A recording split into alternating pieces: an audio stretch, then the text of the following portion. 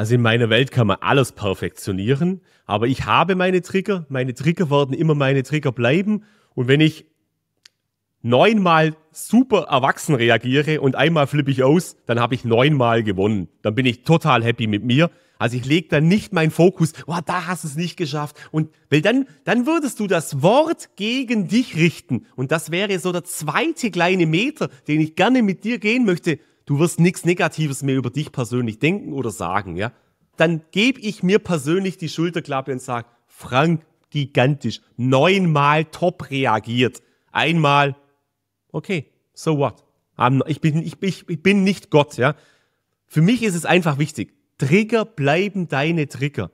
Und du willst dir wert sein, und das ist wirklich ein Wert, ein Thema deiner Wertigkeit, dreimal tief ein- und auszuatmen, bevor du überhaupt nur an eine Reaktion denkst.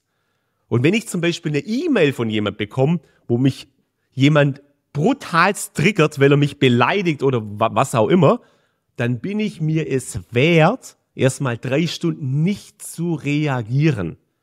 Das hat was mit deiner persönlichen Wertigkeit zu tun. Menschen, die wie im Tennis reagieren, bum, bum, bum, bum, bum, dann, dann, dann, dann, dann bist du völlig, dann bist du völlig wertlos.